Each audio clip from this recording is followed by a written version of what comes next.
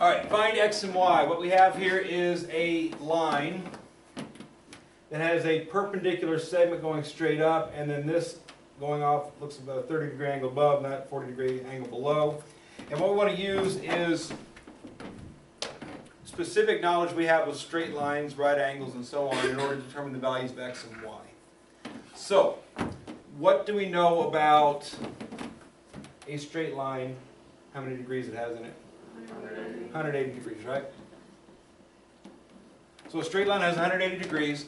And if we take a look at the two bottom angles, start off with those two, y and 40, those two angles together create the entire straight line. You can see they have an adjacent side, the non-adjacent sides form a straight line. So these two angles here, they're referred to as supplementary angles. They're also called a linear pair.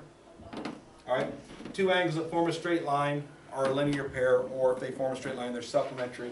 That just means they add up to 180. Okay? I made a big deal about this last year. I'm going to do it again this year. When you're doing a geometric problem using algebra, draw, write an equation. Every single time, write an equation. Use some property to allow yourself to write some equation involving what you're looking for and what truth is there. All right? As the problems get more challenging, the equations are more and more necessary to get the right answer. You guys probably all could have gotten 140 without drawing an equation on this one. But again, get in the habit of, I see a geometric figure, I want to figure out something about it. Write an equation that represents what's true about that. And then solve the equation using good solving technique.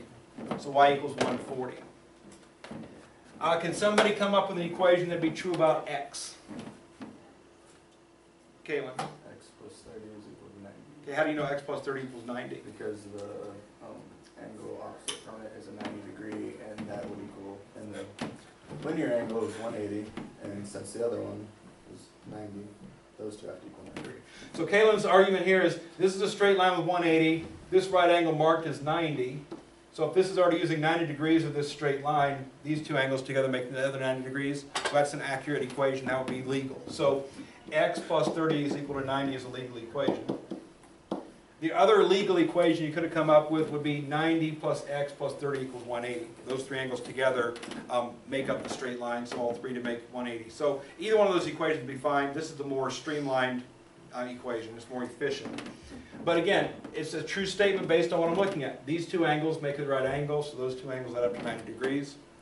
Those are called complementary angles. And again, solving the equation using a good solving technique. Move the 30 over, change the sign. 90 minus 30 is equal to 60. Just like that, we figure out the values of x and y, which is what it told us to do. So we answered the question, we're done.